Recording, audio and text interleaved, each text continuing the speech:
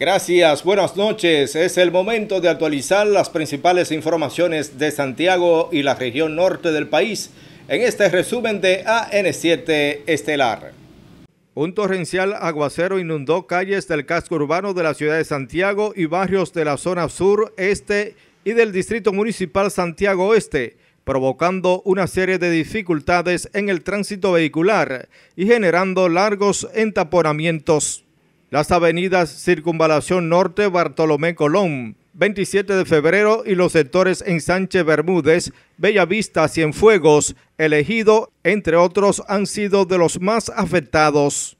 Y es que el sistema pluvial de la parte céntrica de Santiago está a punto de colapsar, aseguran residentes. ¿Del agua? Me imagino de que sí, porque mire cómo está un caos el tránsito. Entonces cuando llueve ya ustedes saben cómo se pone. Entonces creo que deben de gestionar esto para no seguir en lo mismo. Siempre ha sido un desastre muy emblemático, porque la, lo que aquí está sujeto a la base de obsoleto, completamente obsoleto. Habría que hacer una modificación que obviamente recoja. No, porque eso es endémico de Santiago, sabe que cuando llueve torrencialmente esta zona se inunda, pero nada, eso baja de una vez. No creo que eso constituya un gran problema, porque fue que fue, el agua fue muy fuerte, por cierto. Pero eso no constituye ningún problema, eso estamos acostumbrados a eso. La directora de la Junta Distrital de Guayabal, municipio Puñal, provincia de Santiago, Fiol Denise Taveras Estrella, aclaró el incidente que protagonizó con agentes de la Policía Nacional y al mismo tiempo denunció en rueda de prensa que un individuo intentó asesinarla. Distrito Municipal de Guayabal, municipio de Puñal, provincia de Santiago, República Dominicana, 18 de agosto de 2023. A los habitantes del Distrito Municipal de Guayabal, la ciudadanía en general, la opinión pública nacional. Aclaración pública.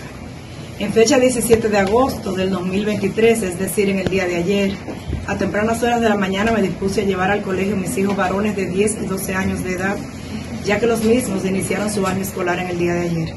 De regreso al distrito de Guayabal, me detuve en el área del bulevar de nuestro distrito a verificar unos trabajos de ornato y limpieza de rutina. Montada aún en el vehículo, se acercó una persona de nombre José Manuel Esteves Cepeda, quien sin mediar palabras me puso un arma blanca en la cara, en el cuello, con la intención de atacarme.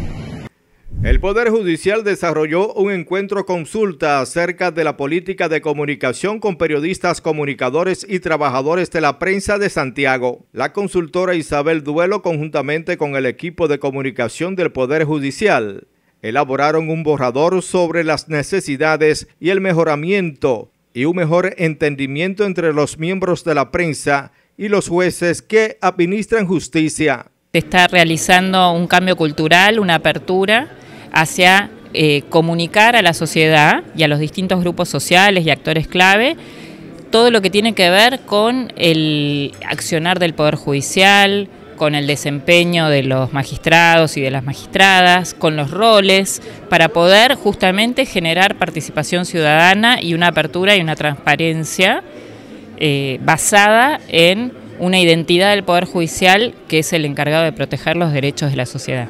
Poder Judicial de la República Dominicana dentro de su plan estratégico 2020-2024 eh, ha definido tres ejes eh, fundamentales de acción.